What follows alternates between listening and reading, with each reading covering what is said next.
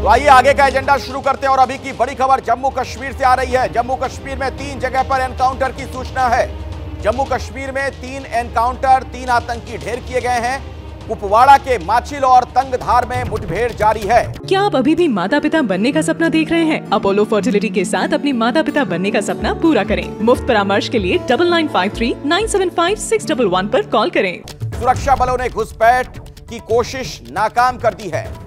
राजौरी में भी आतंकियों के साथ एनकाउंटर। जम्मू कश्मीर में तीन जगह पर एनकाउंटर चल रहा है। जम्मू कश्मीर से अभी की ये बड़ी खबर आ रही है, आपको बता दें, इन एनकाउंटर्स में तीन आतंकवादियों को ढेर भी कर दिया गया है। सुरक्षा बलों ने घुसपैठ की कोशिश को नाकाम किया है और तीन दहशतगर्दों को ढेर कर दिया गया।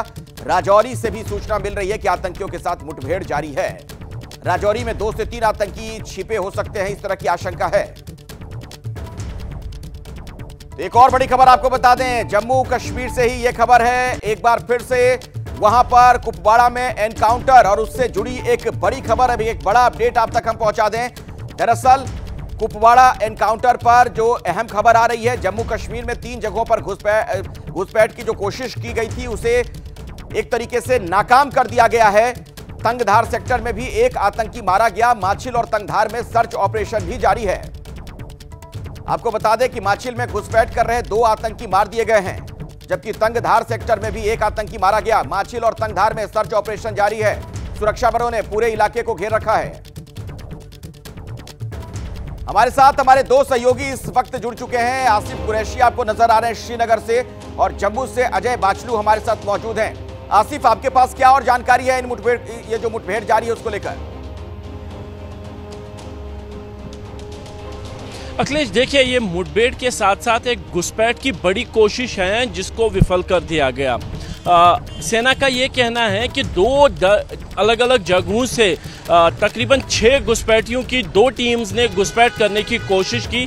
पहले घुसपैठ की कोशिश जो हुई थी वो टंगडार के कुशाल पोस्ट के आसपास के वाले इलाके में खराब मौसम का फ़ायदा उठाकर की गई थी, जिसको सुरक्षा बलों ने विफल कर दिया और रात भर चले ऑपरेशन के बाद सुरक्षा बलों का ये कहना है कि कम से कम एक घुसपैठिए को तो मार गिराया गया है। लेकिन अभी भी इस इलाके में दो मिलिटेंट्स के होने की खबर है तो इसीलिए ऑपरेशन जो है वो लगातार जारी है। जबकि दूसरा जो घुसपैठ की कोशिश हुई थी वो जो हुई थी वो मत्सिल सेक्टर के कुमकारी इलाके में हुई थी कुमकारी पोस्ट के पास हुई थी जिसमें सेना ने अब तक दो घुसपैठियों को मार गिराया है और यहाँ पर भी चूँकि पूरा पहाड़ी इलाका है तकरीबन दस हज़ार फीट से ज़्यादा ऊंचाई वाला इलाका है जंगल का इलाका है और ख़राब मौसम के चलते जो है दिक्कतों का सामना है। लेकिन उसके बावजूद भी सुरक्षा बलों का ये कहना है कि दो अलग अलग घुसपैठ की कोशिशों को विफल किया गया है। तीन घुसपैठियों राजौरी में भी एनकाउंटर की सूचना है। खवास इलाके में आतंकियों के साथ एनकाउंटर, दो से तीन आतंकियों के छिपे होने की खबर मिल रही है। आपको बता दें कि आतंकियों ने रात भर रुक रुक कर फायरिंग की है। सुबह छह बजे से फायरिंग बंद है। सुरक्षा बल पूरे इलाके में सर्च ऑपरेशन चला रहे हैं। दो से तीन आतंकियों के यहाँ पर छिपे होने की खबर मिल रही है। अजय बाचलू के पास चलते हैं। अजय, इस बाबत आपको क्या और पता चल पा रहा है? सर्च ऑपरेशन में कोई कामयाबी मिल पाई? देखिए अखिलेश राजौरी वो इलाका है जहाँ दूसरे चरण में चुनाव है और वहाँ पर सिक्योरिटी फोर्सेस को पहले ही बीफ अप कर दिया गया है। सिक्योरिटी बीफ अप कर दी गई है। तो इसी संदर्भ में कल शाम करीब साढ़े नौ बजे सुरक्षा बलों को ये सूचना मिली थी कि राजौरी के तीन से चार इलाकों में संदिग्ध देखे गए हैं, जिसके बाद वहाँ इन चार इलाकों में अलग अलग सर्च ऑपरेशन चलाए गए।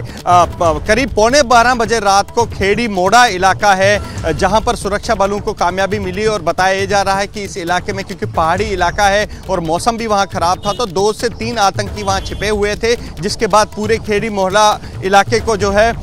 वो सुरक्षा बलों ने घेर लिया। रात भर जो है दोनों तरफ़ से रुक रुक के फायरिंग होती रही लेकिन सुबह छः बजे के बाद से फायरिंग बिल्कुल बंद है और अब उस इलाके में एडिशनल ट्रुप्स और भेज दी गई हैं और पूरे इलाके को न केवल घेर लिया गया है बल्कि वहाँ पर व्यापक सर्च ऑपरेशन चलाया जा रहा है ताकि जो दो से तीन आतंकी जिनके छुपे होने की खबर यहाँ से सुरक्षा बलों को मिली है उनको न्यूट्रलाइज किया जाए उनको अपने अंजाम तक पहुँचाया जाए। तो वहाँ पर व्यापक सर्च ऑपरेशन जो है वो सुरक्षा बलों की तरफ़ से चलाया जा रहा है। कुछ जानकारी और मिलेगी अजय तो बताइएगा दर्शकों तक वो सूचना भी पहुंचाएँगे आपका और आसिफ दोनों का बहुत बहुत शुक्रिया।